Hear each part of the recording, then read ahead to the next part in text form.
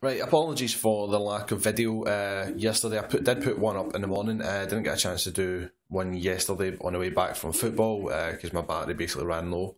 Uh, good day all round yesterday, feeling brilliant. It's been over a week now since my incident happened at the at training. I feel much better. Feel feel actually pretty pretty alive. Like not had any sugar, not had any shite, uh, and a full week now. Uh, last night was good. Had a nice wee healthy dinner, uh, chicken breast and some pasta before I left for football.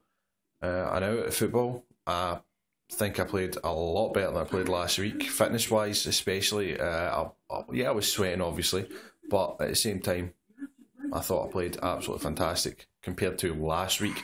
Not saying I'm shit hot, I'm just saying I played better. Uh, I was actually managed to get run up and down the park, a couple of runs, which was really good uh, some good feedback as well, which was even better.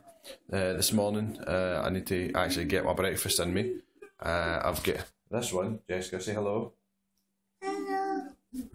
I've got this one. Uh, the night Emma is training, uh, I've got Viper and retired wrestler Robbie Wishart over for dinner. I'm going to be making fajitas, I think.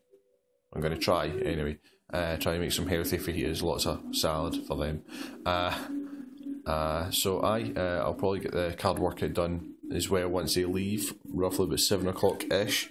So I'm going to try to get another video in then. Uh, things are going well. Going flying tomorrow with uh, John the Bomb Graham, co-owner of the SWA. So thumbs up on that. And hopefully, if I've got money left, I'll go to training tomorrow night as well. So right, cool. Speak to you later.